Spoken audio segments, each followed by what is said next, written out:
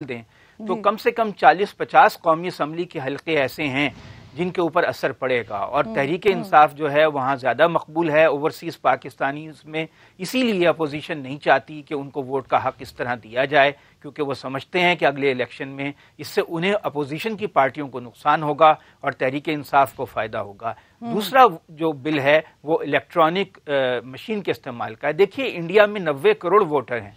वहाँ पे चार जनरल इलेक्शन जो हैं वो इलेक्ट्रॉनिक मशीन से हो चुके हैं। अमेरिका में 16 करोड़ वोटर हैं वहाँ इलेक्ट्रॉनिक मशीन से वोट डाले जाते हैं। हम्म। ब्राज़ील में साढ़े चौदह करोड़ वोटर हैं वहाँ ये मशीन इस्तेमाल की जाती है। हम्म। सिर्फ़ यूरोप के मुल्कों ने इसका इस्तेमाल तक किया है क्योंकि वहाँ वोटर ही थोड़े होते हैं। तो जिन मुल्कों में पाकिस्तान में 11 करोड़ से ज़्यादा वोटर हैं यहाँ पे अगर ये मशीन इस्तेमाल होती है तो इंडिया की तरह हमारा भी टर्न आउट ज़्यादा होगा। इंडिया हम्म। में पिछली बार पैंसठ फ़ीसद टर्न आउट था क्योंकि इलेक्ट्रॉनिक मशीन की वजह से आसानी हो जाती है वोट डालने में और उसे काउंट करने में।